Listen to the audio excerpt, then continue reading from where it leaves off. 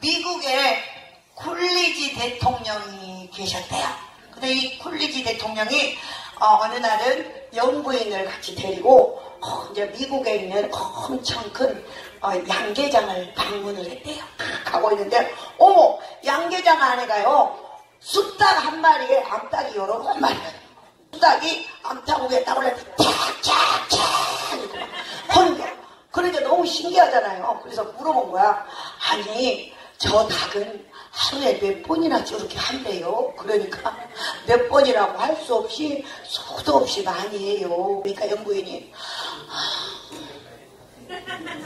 우리 대통령 각하한테 그 말 좀 해줬으면 좋겠어요. 각하 영부인께서 그러는데 저 닭이 하루에 몇 번 하냐고 물어서 수도 없이 많이 한다고 그랬더니 대통령 각하에게 꼭 좀 전해주라고 그러네요. 그래서 대통령이 있다고 하는 말이 그러면 저 닭이 한 닭에게 하루에 여러 번 옵니까?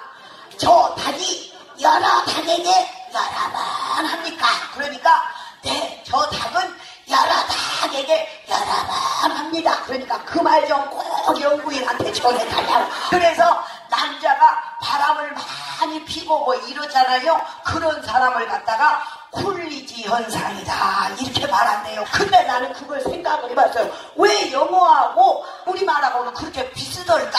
쿨리지 현상, 꼴리지 현상 비슷하지 않아요?